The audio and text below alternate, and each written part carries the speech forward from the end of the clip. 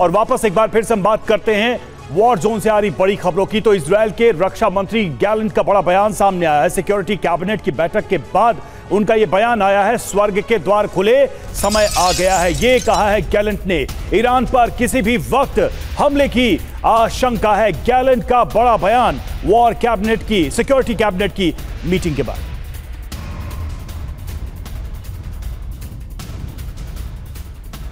तो देखिए, Yoav Gallant के जो तक, तल्ख और आक्रामक तेवर हैं, वो क्या कह रहे हैं? समझने की करते हैं, कोशिश कहते हैं, बदले का समय आ गया है। योव गैलेंट कह रहे हैं, स्वर्ग के द्वार द्वार खुल चुके हैं, समय आ चुका है। इसके मायने क्या है? आज किसी भी वक्त, ईरान पर हमला संभव है, बारूदी प्रहार संभव है, ये सीधे संकेत इसराइल देने की कोशिश कर रहा है।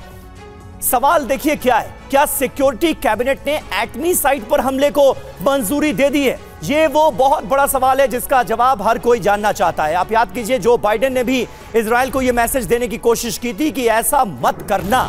लेकिन इसराइल कब क्या कर देगा, ये कोई जानता नहीं मेजर जनरल संजय सोय साहब हमारे साथ मौजूद हैं। सोय साहब, क्या अमेरिका की तरफ़ से ताकीद करने के बाद भी इसराइल वो कदम उठा सकता है जिससे इस पूरे के पूरे रीजन में कोहराम बर्पा हो जाए? न्यूक्लियर साइट पर हमला हो सकता है क्या? ईरान की। बिल्कुल समीर वाकई में एक अहम क्वेश्चन है ये, क्योंकि इसराइल ने बदला लेना है, करना ज़रूर कुछ ना कुछ है गैलेंड ने साफ़ कह दिया है। और कब करेंगे, कैसे करेंगे, ये बात शुरू से उन्होंने ऑप्शन अपने ओपन रखे हुए जैसे भी आपने बिल्कुल सही दिखाया था कि काफ़ी ऑप्शन है, क्या वो ऑयल फैसिलिटी पर अटैक करेंगे न्यूक्लियर फैसिलिटी पर अटैक करेंगे, उनकी सेनाओं पर अटैक करेंगे, या फिर उनके कहीं ना कहीं मिज़ाइल साइट्स पर अटैक करेंगे। जहाँ तक अभी आपका सवाल है न्यूक्लियर फैसिलिटी पर अटैक करने का समीर, यहाँ पर देखा जाएगा कि न्यूक्लियर फैसिलिटी पर अटैक करने का क्या फ़ायदे, क्या नुकसान है। लेकिन इसराइल को सबसे बड़ा खतरा है कि ईरान के न्यूक्लियर पावर ना बढ़, बन जाए। और जैसा कई बार आई ए ने भी बोला और वेस्टर्न कंट्रीज़ भी ये कहती रही हैं कि वो तकरीबन दो तीन हफ़्ते दूर है न्यूक्लियर पावर बनने से। बीच में कुछ ऐसी बात भी चली थी कि शायद इन्होंने न्यूक्लियर प्रयोग कर लिया, वो किया नहीं किया, ये बात क्लियर नहीं हुई।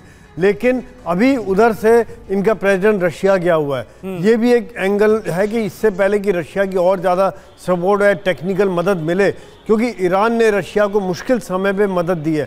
इससे पहले क्या अटैक करेंगे? न्यूक्लियर पे अटैक करते हैं सक्सेस के चांसेस कितने हैं? देखिए फैसिलिटी उनकी काफ़ी डीप है माउंटेन्स के अंदर। उसके लिए ये बंकर बस्टिंग भी काम नहीं आएगा। हम्म। दूसरी बात ये क्या रेडिएशन का खतरा हो जाएगा पूरे इलाके में खतरा हो जाएगा?